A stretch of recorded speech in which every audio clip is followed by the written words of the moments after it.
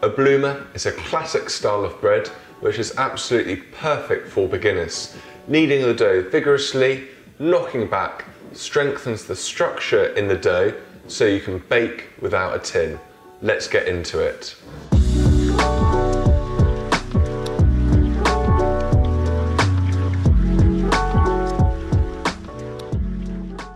Okay, the first thing that I do is measure out my dry ingredients. So that's 10 grams of salt and 7 grams of fast action dried yeast. Also 320 ml of cool water. The reason I'm using cool water is because I don't necessarily want to use warm water to speed up the process. Using cool water will allow this dough to prove in its own time which will have the best flavour and the best texture possible for this bake. Also I'm going to measure out 40 ml of olive oil. This will help enrich the dough slightly. Here I've got 500 grams of strong white bread flour. This is good quality flour. I'm going to add in my salt. I'm going to mix that around slightly and also that yeast and give it a little mix. The reason I'm doing it this way is if the yeast is exposed to the salt, it's going to slow it down or even kill it. So putting in the salt first, mixing it around is going to evenly distribute all of this. I'm also going to add in that olive oil and the water I'm not going to put it in all at once. I will put in about half to start off with and then I'll add a little at a time. Now I'm going to really quickly bring this mixture together. What we're aiming for here is quite a wet dough. When you're starting out, probably think that using a drier dough is best, but actually working with a wetter dough is going to produce a better bread. So I add in that water a little bit at a time and then keep working it. You can see now the dough is quite wet, which is good. Now that I've mixed all of that together, I'm going to start kneading it. So I'm going to move my bowl out of the way and put some olive oil on the worktop. You can see this dough is slightly sticky, that is absolutely fine and as I said it's good to work with a slightly wetter dough. I think the key is to work the dough with a bit of energy, use your hands to move it around, keep the dough on the move when I'm kneading, I'm rolling the dough in and out, in and out. I'm lifting it off the worktop, slapping it on the worktop. All of these movements is basically developing the gluten, which is really important. Everybody has their own style of kneading, but this is mine, and you can experiment and see what is best for you. Slowly but surely, you'll lose that stickiness and you'll have a really nice, elastic, beautiful dough.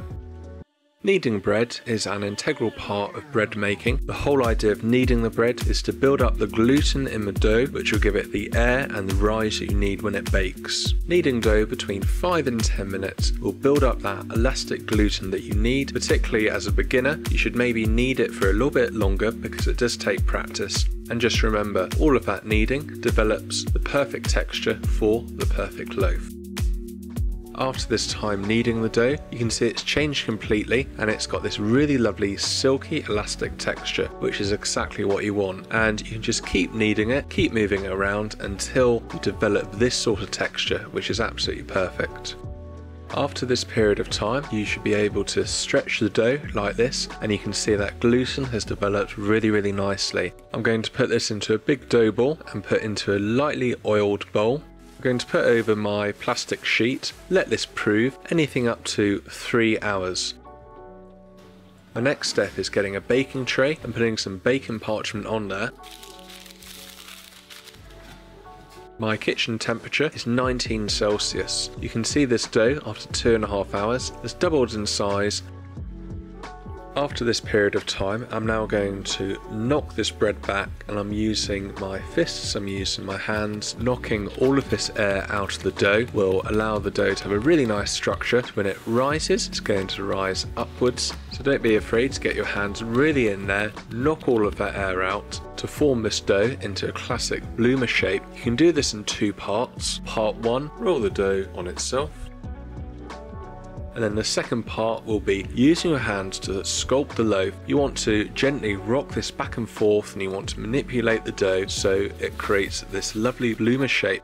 Move this around, use your worktop to just gently mould the shape and after a few minutes of moulding you can see you've got this lovely bloomer shape. I use my bread scraper to move all of that flour out of the way and now I can place my dough on my baking sheet If you are enjoying my video today, it would be amazing if you could smash that like button. It really helps promote my video through the YouTube algorithm.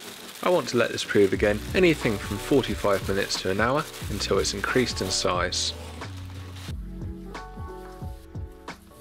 I've let this dough have its second proof for a good hour and I'm going to sprinkle this with water. You could use a water bottle, but flicking the water on with your fingers is absolutely fine. This will help develop a really nice crust. I'm also going to sprinkle on some flour, brush some of this flour off. Be gentle, you don't want to knock out that air.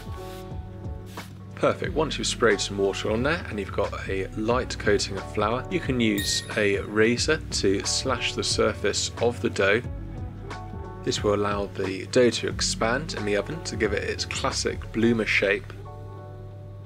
I've preheated my oven to 220 degrees Celsius and I've put a baking tray with some hot water in the bottom.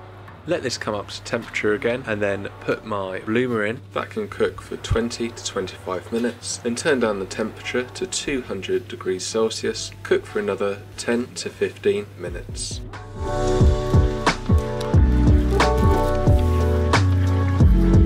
When you take it out of the oven, transfer it to a baking tray to let it cool. Here we have a classic bloomer. This is absolutely perfect for beginners. It has this lovely rustic appearance to it and it's the perfect bread to start making. Thank you for watching my video today and until next time fellow foodies, see you later.